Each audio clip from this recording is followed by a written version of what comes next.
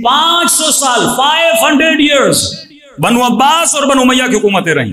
पाँच सेंचुरीज और दोनों हुकूमतें अहलबैतलाम की दुश्मनी थी। कि बरदरान सुन्नत को खुली दावत है। आप किसी शिया आलिम से नहीं खुद जाके रिसर्च करो।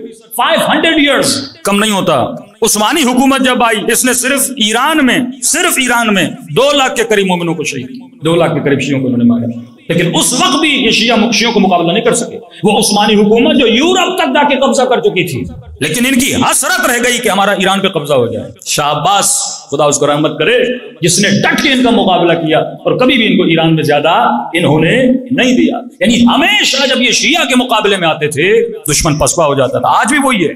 आप किल्लत में हो, लेकिन पूरे खत्ते में अगर पावर है तो किसके पास? या लकी नेमत है, कुछ भी नहीं है। पावर किसके पास है?